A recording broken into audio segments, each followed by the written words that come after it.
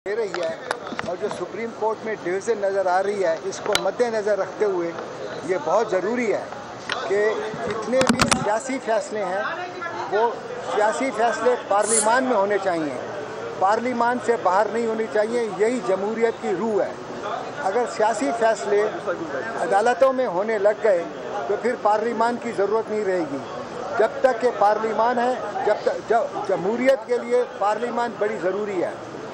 इस वक्त जो फैसले आए हैं, सबसे पहले जो सुप्रीम कोर्ट को मैं समझता हूँ, फैसला करना चाहिए, जो कि पंजाब असम्बली के अंदर केस के अंदर जो फैसला आया सुओ मोटो वन ऑफ़ 2023 के अंदर है कि क्या वो फैसला चार जजेस और तीन जजेस का था या तीन जजेस और दो जजेस का था?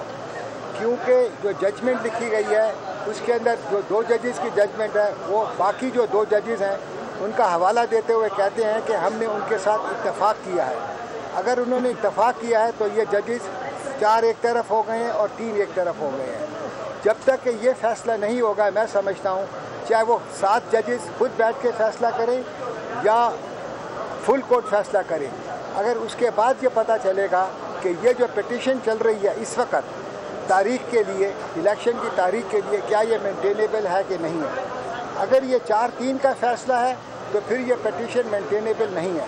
क्योंकि पहले हाई कोर्ट को फैसला करना चाहिए, जो इंट्रा कोर्ट अपील उधर पेंडिंग है। अगर ये तीन दो का फैसला है तो फिर ये पटिशन मेंटेनेबल हो जाती है। उसके बाद बात ये आ जाती है कि जो उनतीस तारीख का फैसला आया सुओ मोटो चार ऑफ़ 2022 के अंदर, जो कि टू वन से आया है, उन्होंने ये कहा है कि तमाम प्रोसीडिंग जो हैं article 184 of class three of the constitution के नीचे पोस्टपोन कर दी जाए। उसको मद्देनज़र रखते हुए आज एक जज साहब ने, जो कि खुद भी उस बेंच का हिस्सा थे, अपने आप को रिक्यूज़ कर लिया है। अब इसको नज़र में रखते हुए ये भी फैसला करना पड़ेगा, क्या वो जजमेंट जो है, इन जजेस के ऊपर जो ये केस सुन रहे हैं, इन पर ये लागू होती नहीं है कि नहीं? अगर ये लागू होती है, कि जो मैं समझता हूँ कि लागू होती है तो फिर ये इस इस केस की सुनवाई नहीं हो सकती है।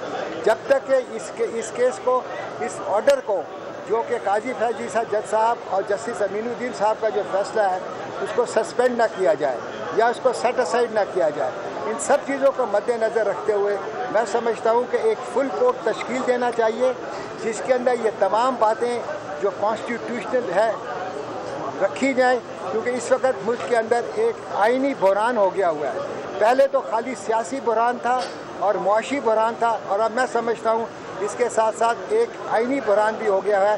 तमाम इंस्टीट्यूशन ऑफ़ पाकिस्तान जो है, चाहे वो जुडिशरी हो, चाहे वो ब्यूरोक्रेट्स हो, चाहे एग्जीक्यूटिव हो, चाहे पार्लिमान हो, वो इस वक्त एक उनके ऊपर, एक सब के ऊपर एक सवालिया निशान बन गया है और इसके लिए ये बहुत ज़रूरी है कि तमाम जो अदारे हैं, वो अपने अपने दायरे के अंदर रह के, जो कानून और आइन के अंदर है, उसके अंदर कायम रखें और एक कंसेंसस का माहौल जब तक पैसा नहीं हो, पैदा नहीं होगा।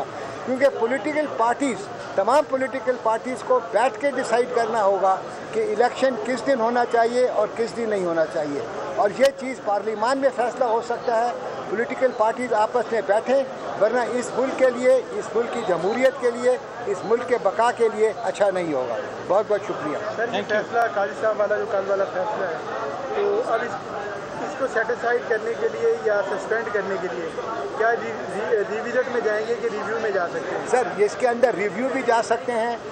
या इसका ये लार्जर बेंच क्रिएट बनाएँ। लार्जर बेंच इसको देखे।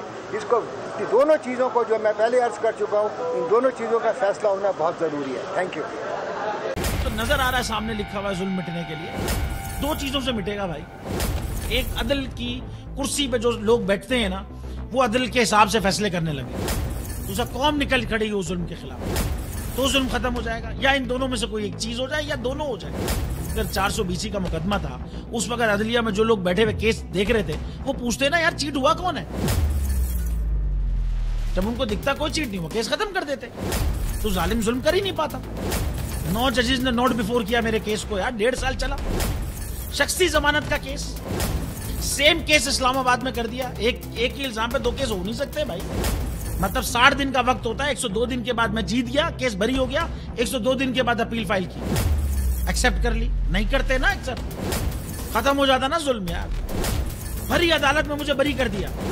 फिर पता नहीं क्या हुआ, ढाई घंटे बाद का नोट बिफोर मैं नहीं सुनता ये केस खड़े रहते अपने फैसले पे। मिट जाता जुल्म। अल्लाह ताला ने बिठाया इस कुर्सी, इन कुर्सियों पे इनको। यार, ये अल्लाह ताला की तरफ़ से फैसले करने हैं। तो या तो ये फैसले आएँगे, जुल्म मिट जाएगा, या कौम खड़ी हो जाएगी, जुल्म के खिलाफ। सुप्रीम कोर्ट के मंसूर अली शाह साहब जस्टिस एक ऑर्डर पास किया उनकी बेंच और उस ऑर्डर के अंदर उन्होंने बड़ा क्लियर बता दिया कि जी बरियत की जो दरखास्तें हैं वो कब कब लगेंगी। उसमें से एक वजह उन्होंने बताई कि जी, जब कोई क्राइम ही ना हुआ हो तो बरी कर दें ताकि अदालतों पे बोझ ना रहे केसेस चलते ना रहे। सुप्रीम कोर्ट ये मिसालें कब बनाएगा? ऐसे लोगों के खिलाफ जो इस तरह की एफ़ काट रहे हैं, वैसे ऑफिसर्स और ऐसे लोग जो इस तरह के केसेस को जजेस चला रहे हैं। रहमत का महीना आ गया है, बख्शिश का सफीना आ गया होगी मुलाकात उलमाए दीन से। जो देंगे इतिहाद बैनुल मसालिकीन का दर्स। ज़िक्र होगा अम्बिया कराम रमज़ान की स्पेशल ट्रांसमिशन रमज़ान में।